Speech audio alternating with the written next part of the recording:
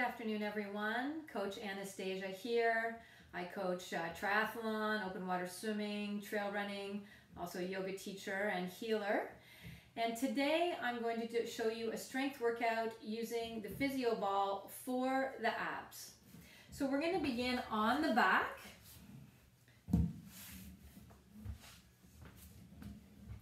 Physio ball on the belly. And we'll start with the right hand behind the head, left hand on the center of the ball. And I'm going to roll the ball up my right leg. Once I've rolled it towards the knee, lift the foot and press the hand and the knee towards each other. And we can hold here for a moment as we're gauging through the whole core and also working obliques. Exhale, roll down and repeat. Inhale, contract the core. Exhale, roll the ball up the opposite thigh, lifting the foot, press the hand and knee toward each other through the ball, and come down. So this is a fairly easy exercise, but when you actually add this pressure on the physio ball of the arm and the knee, you really feel all the core muscles engaging. So I would recommend 8 to 10 per side. Or if you have time, you could even do 15 to 20. This isn't too hard of an exercise, and it is a nice warm-up one for the core. I'm just giving you the opposite side view, trying to get the shoulder blades off of the mat as we roll the upper body up. Suspending the opposite foot and then pressing the hand and knee together.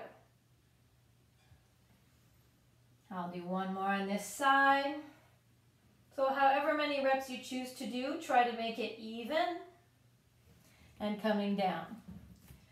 Now we're going to get to a little bit more of a challenging exercise. This one is called dead bug. We're going to take a reverse tabletop position with the body. So suspend the legs in the air, knees bent. And then bring your elbows to the ball. Elbows parallel with the shoulders. Hands can come together or stay apart as you wish. Inhale, bring the lower back flat to the floor. Then exhale, press your knees and elbows towards each other. So you're gonna wanna hold this contraction.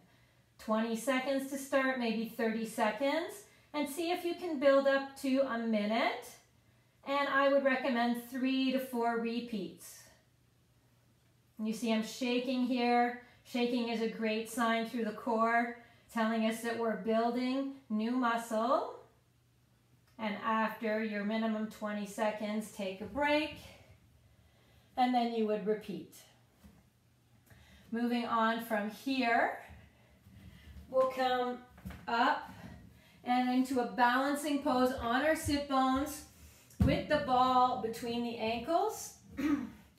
Pressing the legs together, finding our balance, and then turning the ball Again, working through our lower abdominals and our obliques, getting also toning through the legs with this exercise, and great for our balance. If we want to increase the difficulty, raise your arms up beside the head with the same motion through the legs.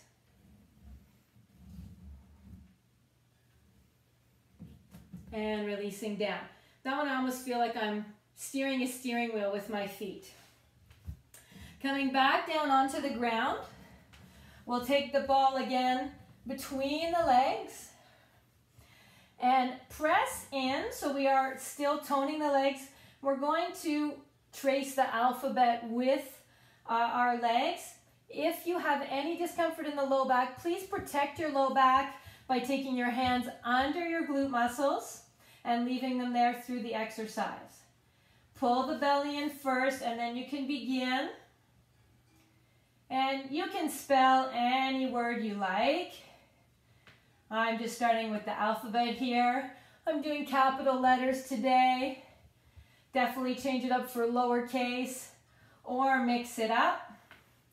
This is a great exercise because we really get movement from just above the floor to 90 degrees in the legs.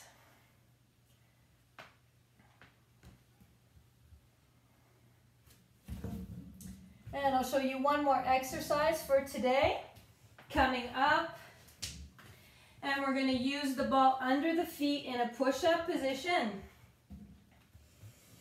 Turning the hands out, just a reminder, if you haven't seen some of my other videos, when we've got weight on our hands to protect the wrist, we want to take the weight out to our radius muscle.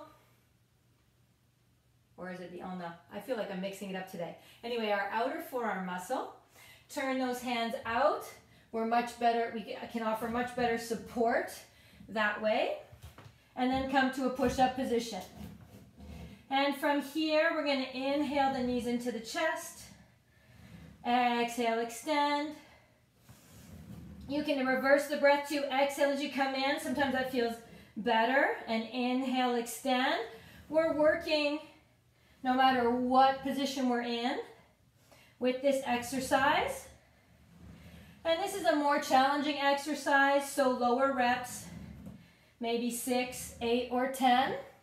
If this is going well for you, you could also increase to a pike position where we're gonna bring the hips over the shoulders, come back to push up, lifting again from the hips, back to push up position.